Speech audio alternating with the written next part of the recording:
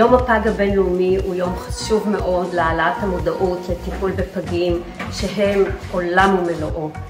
אנו נרגשים מאוד כצוות סיעודי, רפואי ופארה-רפואי לפגוש את הבוגרים שלנו, לראות את ההצלחות שלנו, וכמובן זה מחזק את כל ההורים שנמצאים כעת בתהליך זה.